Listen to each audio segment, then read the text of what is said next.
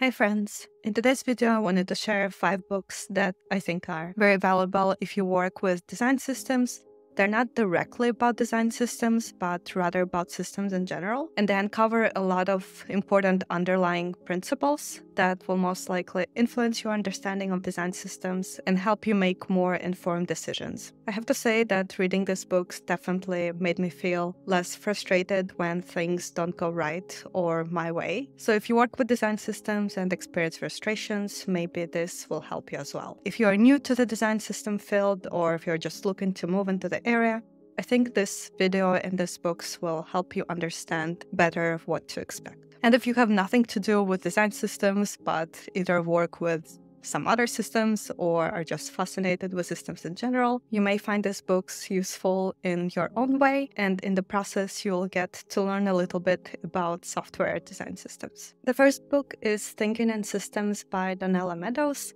It's a great introduction into what a system even is. And then, of course, it goes deeper into topics like what makes systems work well, what are some of the system's traps, how to intervene in a system in a way to enhance it instead of degrading it, what makes a system resilient, what's the role of self organization within a system, and much more. To relate this book to design systems specifically, it will help you ponder some questions like Is your system actually a system, or is it a mere collection of elements like component libraries, documentation? Is there a clear purpose or are you just doing it because other companies are doing it and you feel like you have to be doing it? If you have formulated a goal or purpose for your design system, is it the one that truly benefits you and your team? For example, if you measure the success of a design system by the amount of components you create, is it the correct way to measure it? Or is something like adoption and contributions could be more beneficial for measuring your system? Or is it maybe worth focusing on how many duplicate components have you removed, or in general, how much code you're able to remove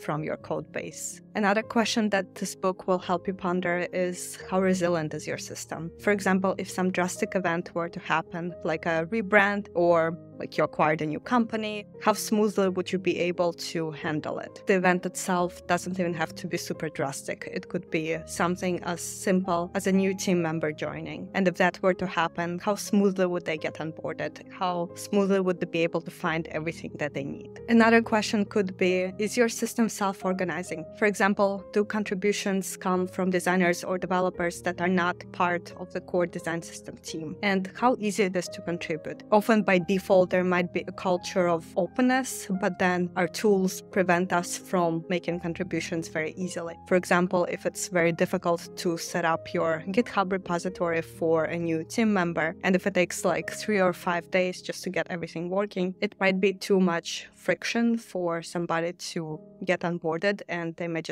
not want to participate just because of that. So, the great thing about this book is if you have some abstract feelings of something being wrong, it will most likely help you frame your abstract feeling into a concrete question. It may not give you a direct answer, but having a clear question will definitely make it easier for you to discover that correct answer. And before we move on to the next book, I just want to share two takeaways from this one that perhaps extend beyond design systems. The first one is keeping the standards absolute and just in general be aware of the concept of the drift to low performance. So when systems degrade, it usually doesn't happen overnight. Every day it is just getting a little bit worse until you realize that you have a disaster. And the best way to prevent this drift to low performance is to compare every day's work to some absolute standard that you set for yourself and that remains the same no matter what. It's important to say that, of course, you can't control the actions of others, so you shouldn't get upset when someone else's work does not meet your expectations and your standard. But as long as you can measure yourself to an absolute standard that you set for yourself, it should give you a peace of mind. The second important takeaway is access to information. Lack and uncertainty about information is one of a system's greatest bottlenecks. This means that a good amount of your time in design systems work should be spent consistently sharing updates and then documenting everything, but doing so in a concise manner so that it's easy to find information and it doesn't just get lost across multiple sources. The next book is Kluge by Gary Marcus, and the main idea of this book is that our minds have not evolved to be the this perfect creation that we sometimes may think they are. They certainly don't serve us 100% well for our time and space, and they have not really evolved to be perfect there. Kludge, by the way, means a clumsy or inelegant but effective solution to a problem. Marcus goes on giving numerous examples related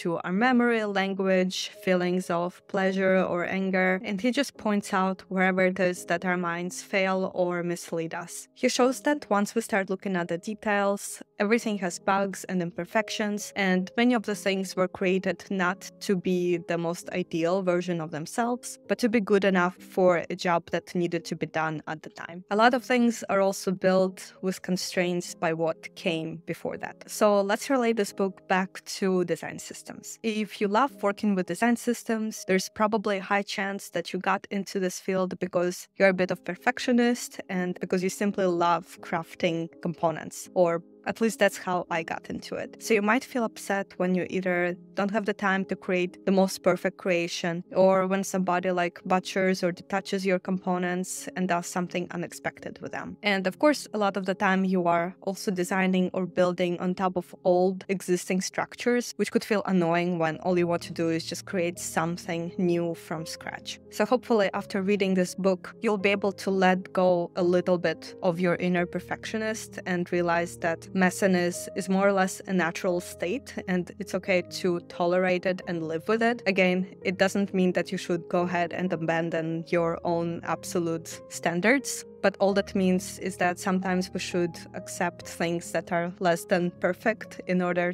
to move forward or be able to focus on something that's more important. The next book is Range by David Epstein. The overall idea of this book is that where I used to thinking of experts or general and people who achieve something as narrow specialists who spend thousands of hours honing that specific skill. While that might be true in some professions like surgeons, a lot of the breakthroughs are made by people who can combine multiple disciplines, especially disciplines that seemingly have little to do with each other. So let's relate that back to design systems. When I got into this work, I expected there to be a lot of heads down pixel crafting. I just wanted to go very deep into the field of visual design and kind of ignore everything else that goes around it. Of course, that focus time is still very important and essential, but unfortunately, that's not everything. So I've come to realize that for a design system person to be at least somewhat successful in this role, it's important to have understanding of other principles, like the engineering side of things, the business side of things, marketing if you want to have a meaningful influence over the system, the more parts you understand,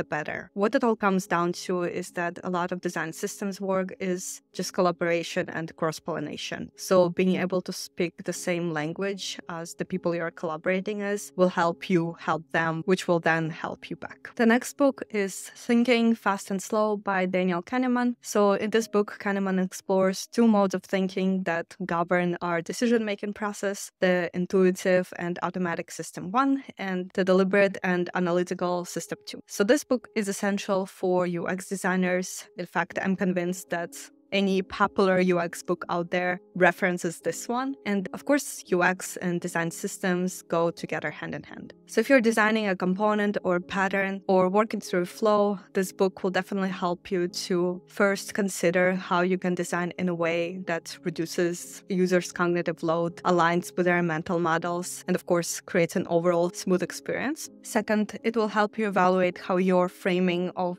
information influences users' choices and hopefully you will use this power responsibly and not in a manipulative way. And it will also help you create interfaces that elicit positive emotional responses instead of causing annoyance. There are way more examples, these are just three. And needless to say, all the concepts covered in this book will extend beyond designing for external consumers. Understanding these concepts will also help you figure out how you can communicate design systems internally to design system consumers. And the goals here are the same. You want to make it easy for somebody to use the system. You want to create a positive, flawless experience, just like you would with any regular product. Okay, so the last book is probably my favorite one. It's a very short and easy read. It's uh, Subtract by Leidy Klotz. And uh, the theme of this book is that humans typically don't view subtraction as a viable option towards accomplishing something. We're wired to add or think in terms of addition, and that could be our problem. And design systems are very, very guilty of that. So, first, many view design system as an addition. We often say,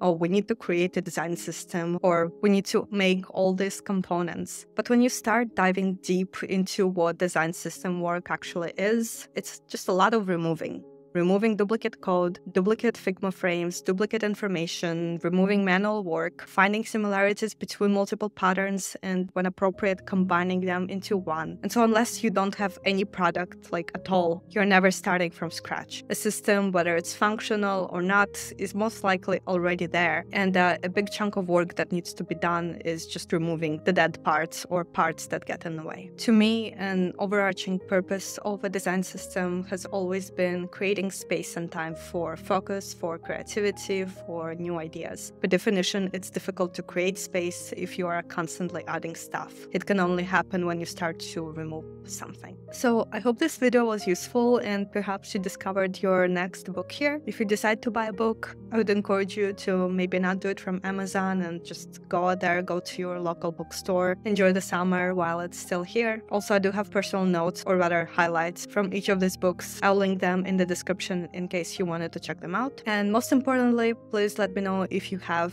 any favorite systems type books. And of course, they could also just be about software design systems. Thank you for watching, and I'll see you next time. Bye bye.